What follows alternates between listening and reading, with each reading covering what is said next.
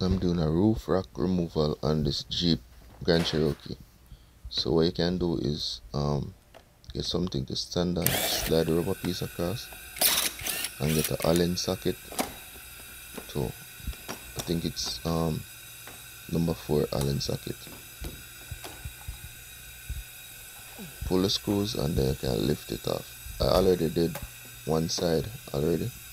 So let me show you again the procedure. So slide the rubber piece away. Use the Allen socket to remove the screws. Once you remove the screws, it will feel it will feel free, so you can just go ahead and just lift lift it out.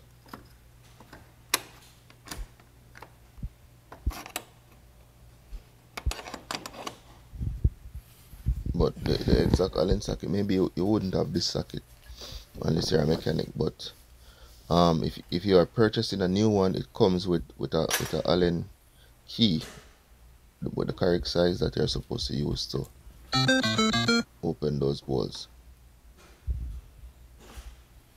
I remove those those um little little screws